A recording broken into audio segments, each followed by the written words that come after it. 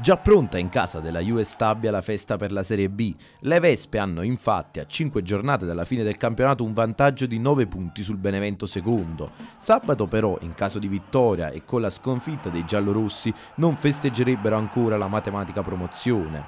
Infatti arriverebbero allo scontro diretto proprio con le streghe con 4 partite al termine della stagione e 12 punti di vantaggio. Sarebbe così tutto rimandato al big match in programma l'8 aprile proprio in casa del Benevento. Juve Stabia che si appresta quindi a vincere un campionato tendenzialmente dominato, come ci riportano i dati.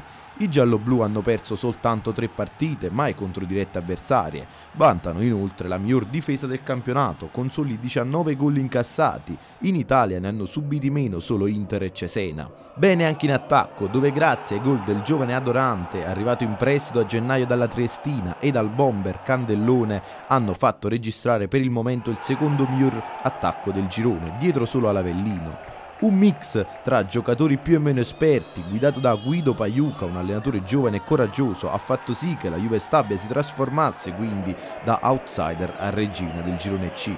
Viceversa, il Benevento per tener saldo il secondo posto dovrà fare risultato contro Monterosi, Latina e Catania, oltre ad affrontare le difficili sfide che la vedranno impegnata prima in trasferta a Castellammare di Stabia, successivamente ad Avellino, con i lupi che inseguono distanti solamente 4 punti.